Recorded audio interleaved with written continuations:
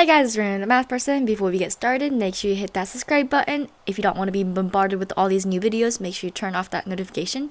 Other than that, let's just dive right into this question. In this video, I'll be going over question 90 on SOA exam P, so pause the video real quick and try to spam yourself. Okay, assuming you're tempted, let's just dive right in. So we know for exponential functions, the probability distribution for lambda being equal to lambda is equal to 1 over lambda e to negative t over lambda. So we know for a basic policy with the exponential function that's exponential dis exponentially distributed with the mean 2, this is equal to 1 over 2 e to negative t over 2. And likewise for deluxe, it's going to be with a mean of 3, so that's going to be 1 third e to negative t over cubed. But I'm actually going to differentiate this a little bit because these t, two t's are different values.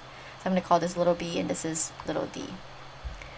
And they also say that these are independent, aka the joint function, the f of b comma d, is just equal to the f of b times f of d.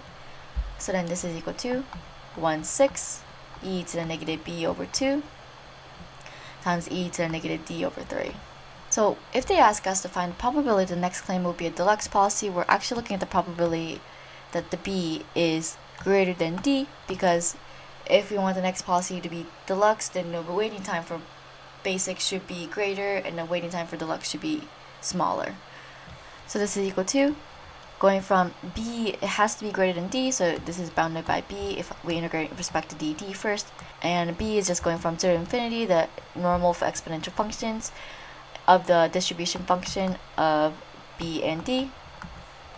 So this is equal to 0 to infinity, 0 to b, of 1 6 e to the negative b over 2 e to the negative d over 3 dd db.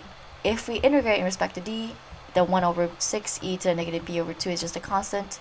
So you get negative negative 3 integrating e to the negative d over 3 from 0 to b. So you get negative 1 half e to the negative b over 2. Plugging in the upper limit here, you get e to the negative b over 3 minus plugging the lower limit, you just limit you just get 1. I'm going to multiply this sucker out so we don't have to worry about it later. So this is equal to negative 1 half e to the negative 1 half plus 1 third. That's negative 5, 6, b. The base is the same, we can add the exponents. Minus minus, that's plus 1 half e to the negative b over 2 db. If we intersect, if we integrate in respect to b, right here you're going to get 6 fifth times 1 half e to the negative 5 6 b minus 1 e to the negative b over 2 integrating from 1 to infinity or 0 to infinity. If we plug in the upper limit, e over a really big number is just going to be 0.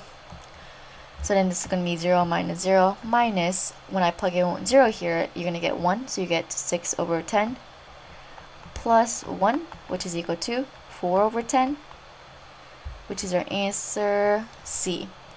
If you guys have any questions, feel free to leave them down below. Otherwise, as always, make sure you like, subscribe, and share. Bye!